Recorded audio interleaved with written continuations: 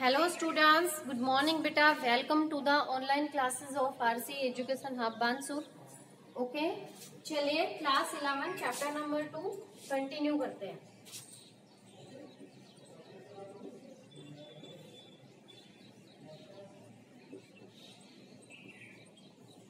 Biological classification इससे पहले बेटा लास्ट वीडियो में we were discussed about the monera और कैरेक्टरिस्टिक्स ऑफ़ मोनेरा इनकी करेक्टरिस्टिक से एक बात आपको क्लियरली समझ में आ गई होगी that monera mainly consist of group of bacteria और it mainly contains bacteria okay bacteria आपको पता है these are the diverse form on the earth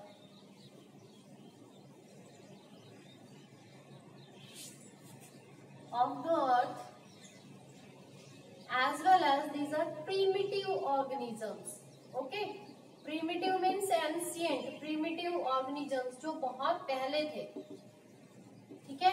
और ऐसा पॉसिबल कैसे हुआ है? पॉसिबल इस तरीके से हुआ है बेटा because they having diverse form diverse form it means they can और they can survive at variable और even at the extreme conditions okay hot spring से लेके डेजर्ट्स में या फिर बहुत लो टेम्परेचर तक की बात करें so they are able to survive at in any condition okay इसलिए हम कह सकते हैं कि प्रीमिटिव ऑर्गेनिजम्स हैं।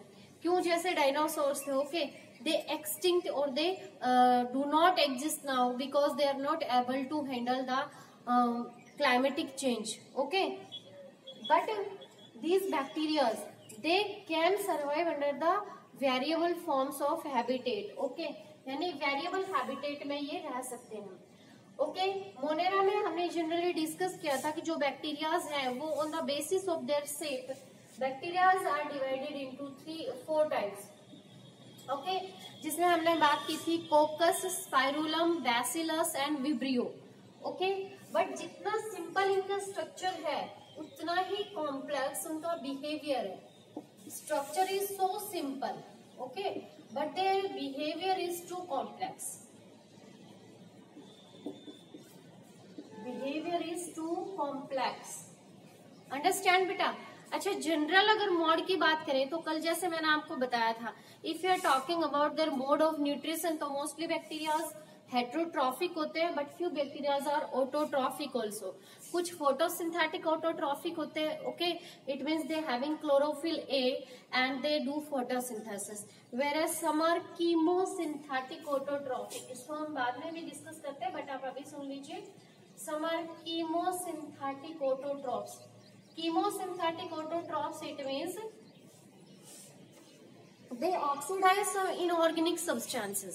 Okay inorganic substances को ऑक्सीडाइज करके नाइट्राइट नाइट्रेट्स एंड अमोनिया में कन्वर्ट कर देते हैं। इसके अलावा अगर हम बात करें about their mode of respiration या उनका जो रेस्पिरेशन है, वो भी टू टाइप्स का होता है some are aerobes and some are anaerobes okay चलिए तो yesterday we were discuss about the class characteristics of monera today now let we discuss about two types और two main classification of the monera okay monera को इस class में हमने two groups में classified किया है। One is archaebacteria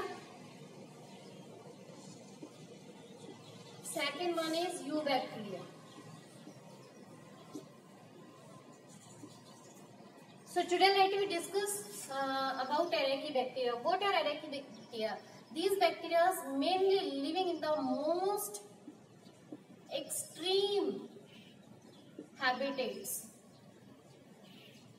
okay habitat it means the place where they can live वो place जहाँ पे ये live करते हैं they stay okay mainly आप इसको समझिए habitat मतलब कोई भी place हो सकता है for example deserts hot springs okay तो सबसे इंपॉर्टेंट बात ये है कि they are living in extreme habitats okay and on the basis of extreme habitats they are halophiles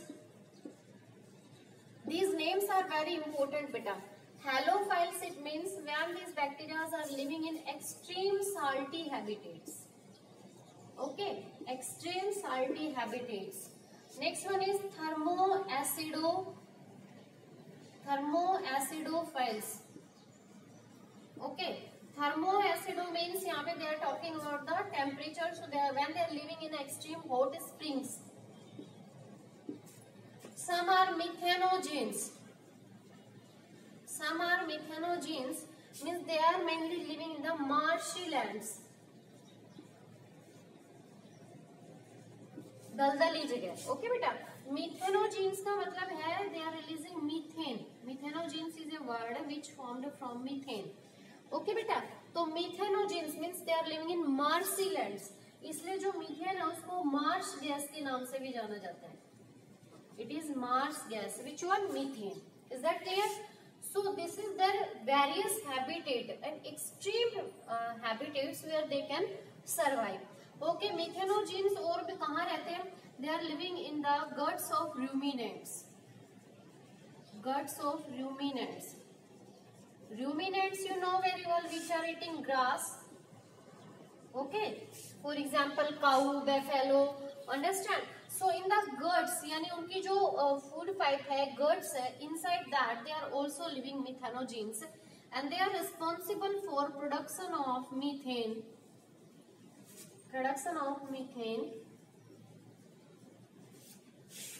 in dung यानी जो भी एनिमल डंग होता है, उनमें क्या होता है? मीथेन के प्रोडक्शन के लिए यही रिस्पॉन्सिबल होते हैं। अंडरस्टैंड बेटा? So these are archaebacteria which are living in the extreme habitats और भी इसकी एक खास बात हम पढ़ेंगे अरेक की बैक्टीरिया की they having different type of cell wall different type of cell wall ठीक है? यानी अदर बैक्टीरिया के कंपैरिजन में देखा जाए तो इनकी जो सेल होती है, वो थोड़ा डिफरेंट टाइप की होती है।